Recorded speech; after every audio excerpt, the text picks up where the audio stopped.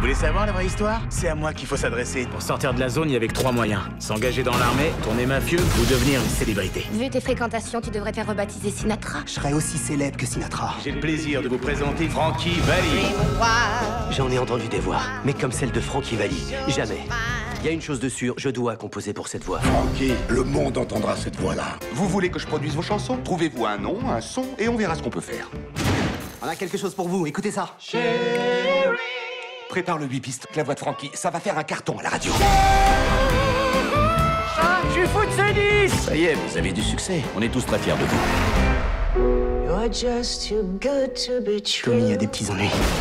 Alors pourquoi c'est pas lui qui vient me voir T'as la voix, moi j'ai les chansons. On a qu'à s'associer. On aurait pu croire que Frankie allait virer Tommy aussi sec. Mais si vous croyez ça, c'est que vous n'êtes pas du New Jersey. C'est ton heure, Frankie, saisis-la.